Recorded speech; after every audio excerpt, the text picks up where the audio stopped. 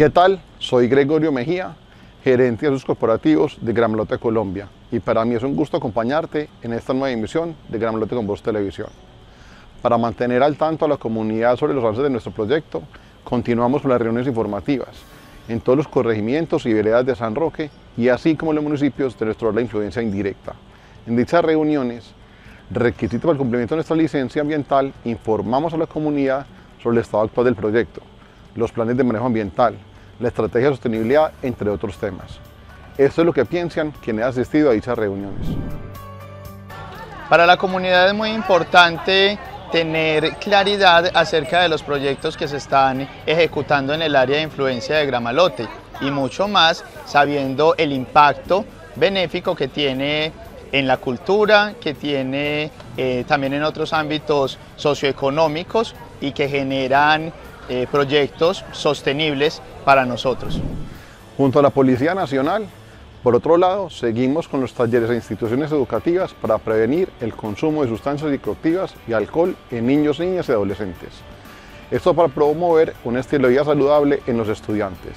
Nayari Manuela Ochoa, estudiante del grado 11 de la Institución Educativa Rural de Providencia, nos da su opinión frente a estos talleres. Me pareció muy interesante porque aparte de que nos enseña la importancia de no consumir las drogas, del daño que nos hace a nuestro cuerpo, también nos enseña que eso puede afectar en nuestro proyecto de vida. Y a los jóvenes de que nos concienticemos de que eso en realidad sí nos hace daño, que no crean.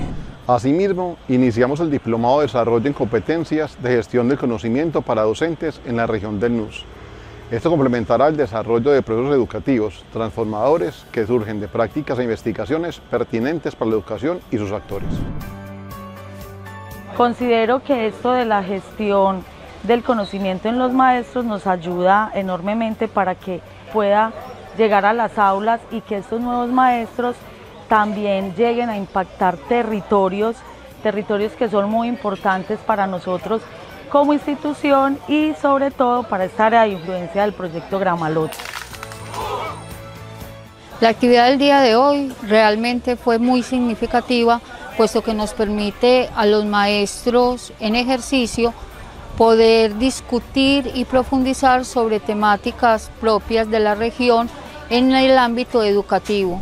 De esta manera continuamos demostrando que juntos somos comunidad lo que es vital para el desarrollo sostenible de la región del NUS. Los invitamos a que conozcan nuestras redes sociales y recuerden, Gramalote es una oportunidad de oro. Gramalote, una oportunidad de oro.